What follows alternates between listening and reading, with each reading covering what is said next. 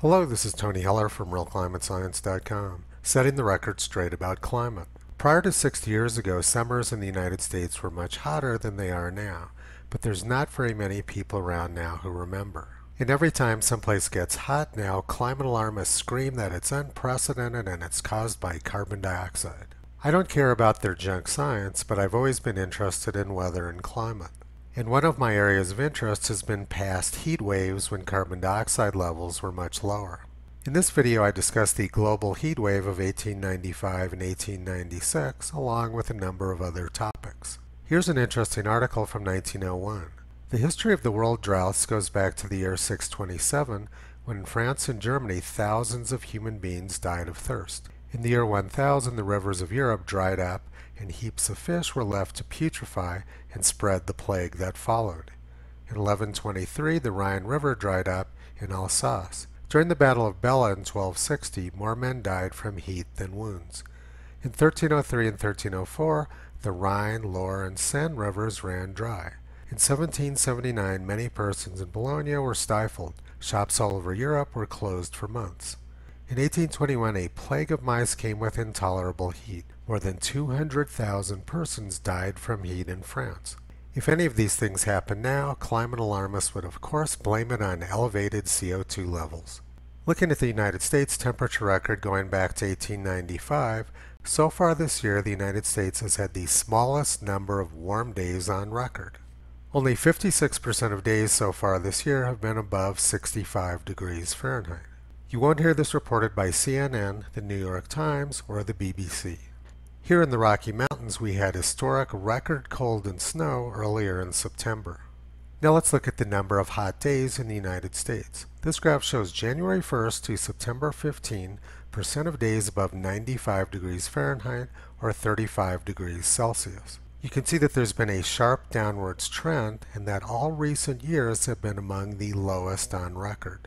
In 1936, 13% of days through September 15 were above 95 degrees, whereas in recent years it's been closer to 5%. But a person would have to be more than 90 years old to remember that. This next graph just shows September temperatures, and you can see that September was also much hotter prior to 60 years ago. The hottest September was 1931, when 83 degrees was the average maximum temperature around the United States. And this graph shows the September percent of days above 90 degrees Fahrenheit. There were a lot more 90 degree days during September in the United States prior to the year 1960 than there has been since 1960. And the same thing is true with 100 degree days. In 1925, 7% of September days were above 100 degrees Fahrenheit. That's pretty incredible. This graph narrows it down to September 10th through September 22nd, which is essentially the end of summer. All of the five hottest years for that date range occurred prior to the year 1945, with 1895 being the third hottest. And for the September 10th through September 22nd percent of days above 90 degrees Fahrenheit, 1895 was the second hottest after 1931. Ohio experienced an incredible heat wave from September 17th through September 22nd, 1895, when 76% of the readings were above 90 degrees Fahrenheit. And Hillsboro, Ohio had five consecutive days over 100 degrees, topping out at 105 degrees. Weather that hot in September now is inconceivable in Ohio. This graph shows the Ohio percent of September days above 100 degrees Fahrenheit. The last time it happened was in 1953, but in 1895 more than 8% of days were over 100 degrees. And you can see that in 1894, 1895, and 1897, there were days over 100 degrees Fahrenheit in Ohio. Imagine the hysteria from climate alarmists if we had this 19th century weather again. But the 1895 heat wave wasn't confined to Ohio. In fact, it covered much of the United States. On September 17, 1895, Forestburg, South Dakota reached an incredible 112 degrees. Temperatures in much of the Great Plains in the Midwest over the past week have been 30 to 50 degrees cooler than they were in 1895. And the heat wave wasn't just in September. Here's an article from early June about a fearful heat wave that's been baking Pittsburgh and causing a great deal of suffering. And here's an article from London from August 1895 discussing a great heat wave in Europe.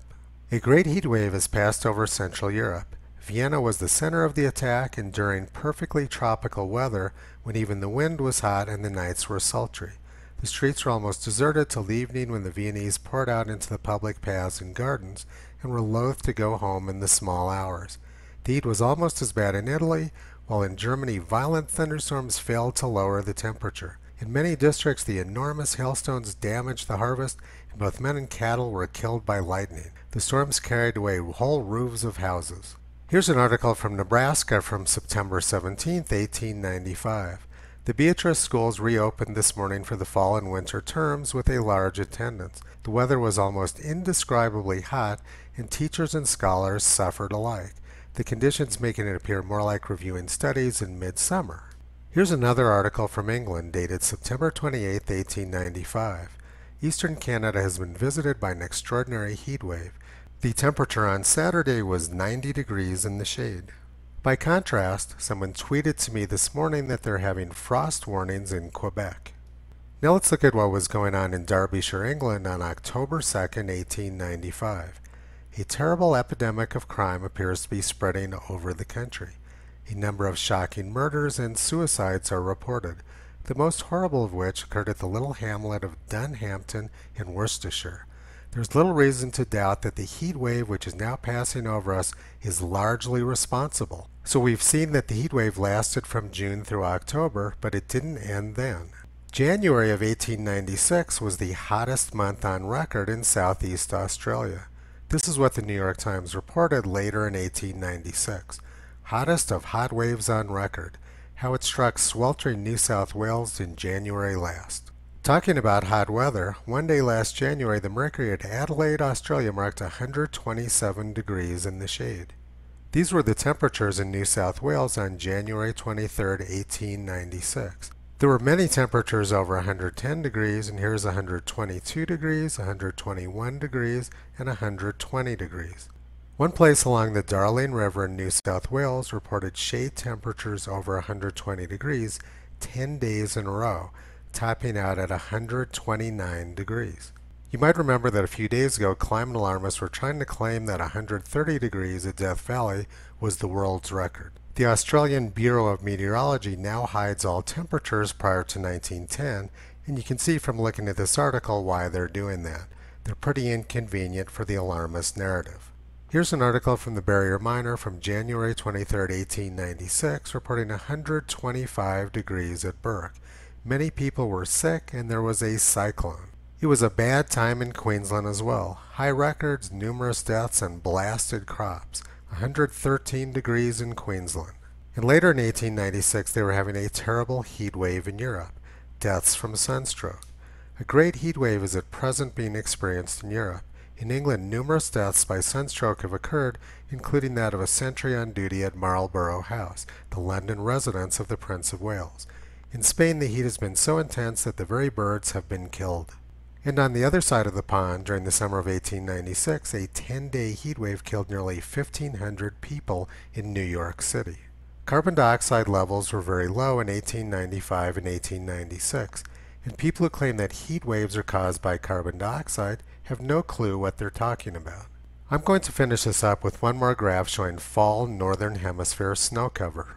Autumn snow cover has greatly increased over the last 50 years to record levels. This is because the freeze line has been moving further south.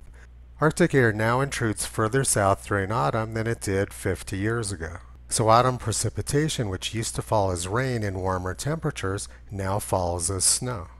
Toto wishes that the climate science community had some actual interest in science and wanted to learn about these things and teach other people. But the fact that they don't gives Toto the opportunity to teach people himself. You can visit Toto and Kyrie on the web at realclimatescience.com.